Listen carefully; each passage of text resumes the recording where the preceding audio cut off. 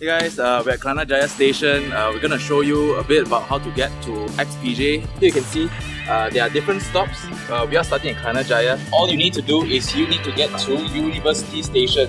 So from any of the stops, uh, from uh, KLCC or Masjid Jamek or Bangsar, just make your way to University Station. And when we get there, I'm gonna give you more directions on how to get to XPJ.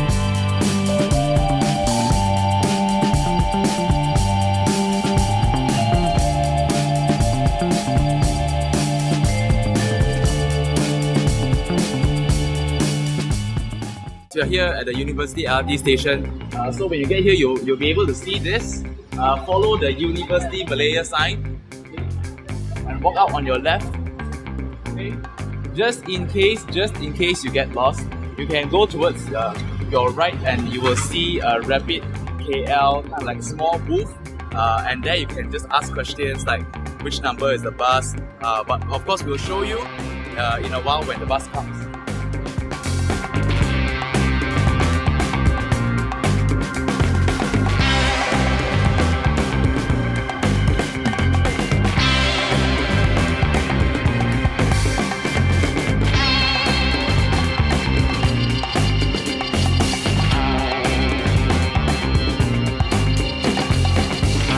Okay, we just uh, finished our bus ride. It takes about uh, less uh, around 10 minutes uh, to, to get to get to Jaya 1. Uh, so here we are, Jaya 1. Uh, you can look, we'll, we'll bring you just on a short tour later. And the venue that we are going to have Acts PJ is PJ Live Arts.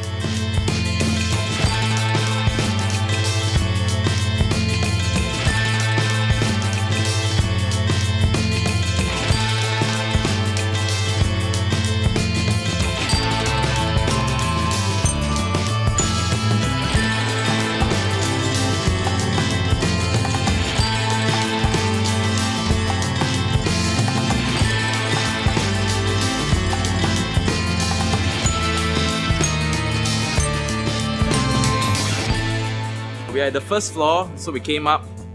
And as you can see, the makeover, they're still doing the makeover. The launch for Acts PJ, you're gonna see a new theatre. Uh, so just follow the signs, it's, it's very clear, very clear cut. Just walk up. Yeah, and be excited. We're gonna have a new, they're, they're gonna have a new theatre and we're gonna use it.